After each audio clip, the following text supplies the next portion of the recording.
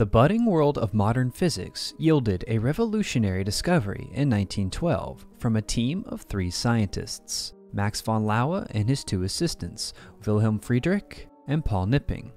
In a single experiment, they solved two mysteries in their field at once the nature of X rays as a form of light, and also how to determine the molecular structure of crystals.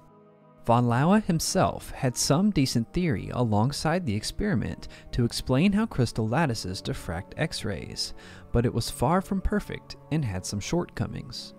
The major component of von Laue's theory that led to its shortcomings lied in the assumption that the zinc blende crystal, which they used for their experiment, had a primitive cube lattice, so when they obtained their diffraction images, he could not explain why certain spots corresponding to certain indices appeared on the photographic plate, while other predicted spots corresponding to other certain indices did not appear.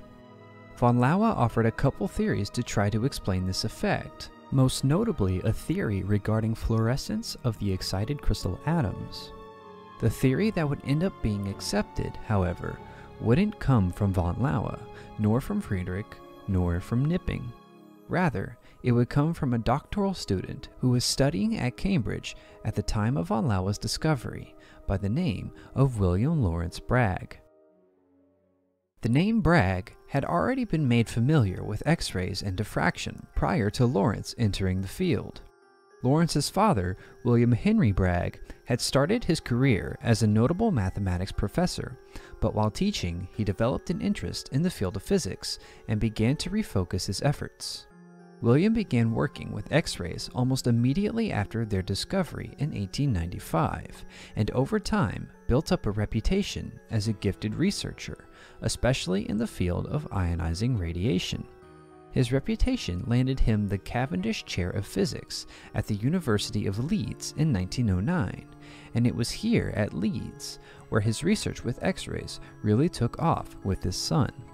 Upon hearing about von Laue's discovery in 1912, William brought up the topic with his son, and the two decided to contribute to the remaining theoretical mysteries in different ways. William contributed on the experimental side, inventing an entirely new device called an X ray spectrometer to study crystals based on the angle at which the X rays reflect through them. Lawrence contributed theoretically, developing a rather simple but revolutionary equation relating the wavelength of the incident X-rays to the scattering angle in the crystal.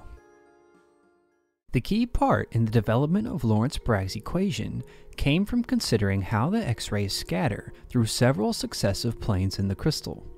In a structure like this, Bragg thought about the conditions necessary to get exiting waves that are in phase when the incident angle equals the scattering angle, with some scattering happening in every layer. For each layer deeper an X-ray travels into the crystal, it travels further and further than the X-rays that are scattered off the layers above it. For that exiting waves to still be in phase and therefore show a strong diffraction pattern, the extra distance the deeper X-rays travel must be some integral multiple of the wavelength of light. From understanding these conditions, all it takes is simple geometry and trigonometry to derive Bragg's law. To further explain the missing spots in von Laue's results, Bragg suggested that the crystal they used, zinc blende, had a face-centered cubic lattice rather than a primitive cubic lattice. This means that atoms are present on the faces of the cubes of the unit cell, as well as in the corners of the unit cell, which would result in an entirely different diffraction pattern from a crystal with a primitive cubic lattice. To put Lawrence Bragg's theory to the test, William Bragg worked with his son using his newly developed X-ray spectrometer. The apparatus consisted of three main parts. The first was a collimator, which is a device that narrows the incident X-rays by means of passing them through narrow slits.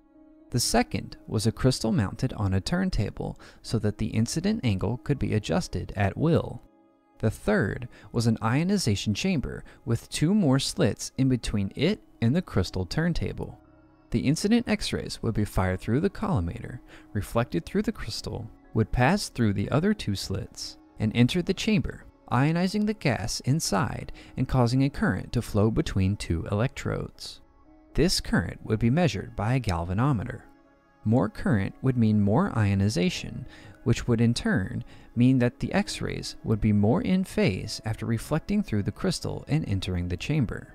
So, by measuring the current, they could determine the optimal angle of reflection through the crystals they used.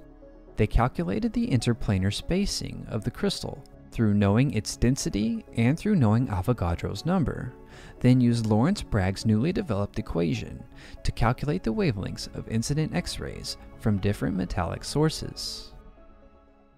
William Bragg reported their findings in a paper in 1913, giving credit to his son for what is now known as Bragg's Law.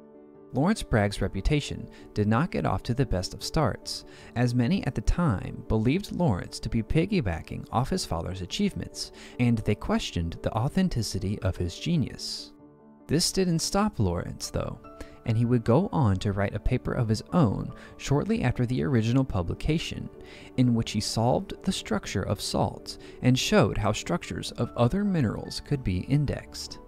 This led to the eventual determination of the structure of diamond by his father, and the determination of the structure of several other minerals by himself, such as zinc blende and calcite, and even going so far as determining the structure of metallic copper.